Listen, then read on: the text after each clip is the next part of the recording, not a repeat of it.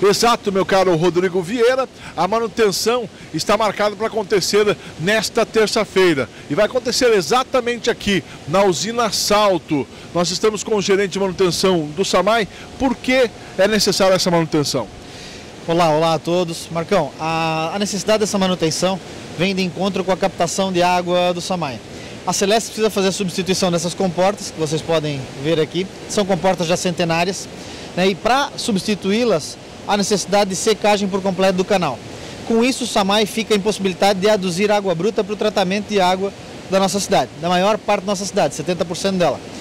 É, diante disso, as autarquias discutiram muito no sentido de diminuir o impacto dos nossos munícipes e chegou-se à conclusão que lançar uma tubulação por toda, por dentro dessa, de toda essa galeria, até a, a Jussante ali atrás, no nosso, na nossa captação, né, ser em outro ponto, isso nos daria mais tranquilidade com relação a, todo, a toda a substituição da comporta.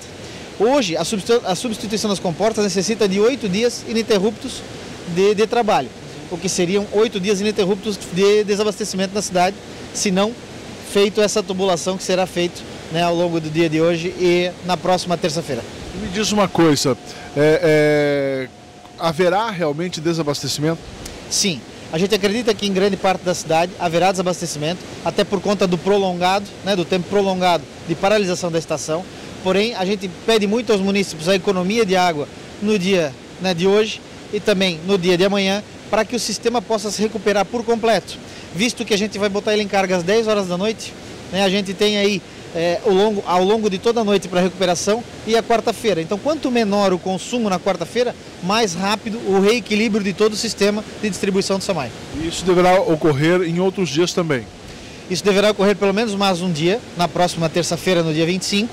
Essa é a nossa programação, é a programação dos trabalhos da Celesc. É, concluído nessa terça-feira, a Celesc já pode iniciar os trabalhos de substituição das comportas tranquilamente.